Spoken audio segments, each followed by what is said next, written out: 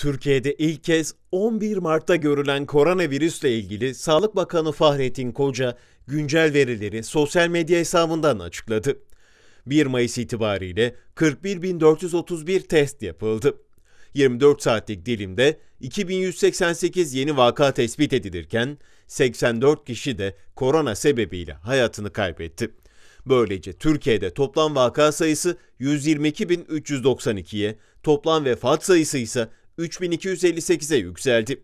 Güncel verilere göre bir gün içinde 4922 hasta sağlığına kavuştu. Böylece toplam iyileşen kişi sayısı 53.808'e yükseldi. Yoğun bakımdaki hasta sayısı 1480, toplam entübe hasta sayısı 818 oldu. Biz bu süreç yönetimini 8 bakanlığımız Sağlık Bakanı Fahrettin Koca sosyal medya hesabından yaptığı açıklamada son 24 saatte iyileşenler yeni tanık olan hastaların 2.25 katı. Toplam iyileşen sayısı 53 bin. Bu sayı bugüne kadarki toplam vaka sayısının %45'ine yakın. Yoğun bakım hasta sayısı azalıyor. Tedbirde dikkatli olalım. Dışarıdaki hava tabloyu değiştirebilir dedi. gereken yeni bir karar olursa yine bu doğrultuda Virüsün yayılmasının önüne geçmek için kısmi sokağa çıkma yasağı uygulaması devam ediyor.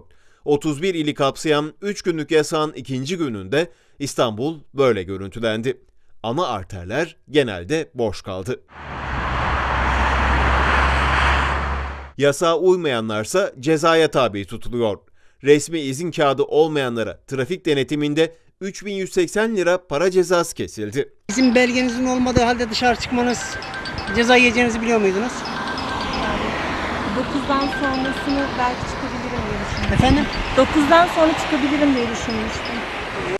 En ilginç cezalardan biri ise Antalya'da kesildi. Markete giren bir kadın cep telefonunu otomobilde bıraktığı 5 yaşındaki oğluna verdi. Kapkaççı 2000 lira değerindeki telefonu çocuğun elinden alarak kaçtı.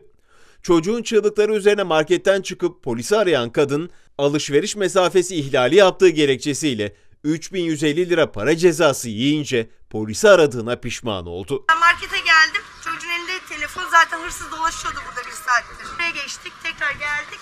E şimdi polisleri aradık. E şimdi ceza yazacaklar bize. Öğlen ikiye kadar zaten.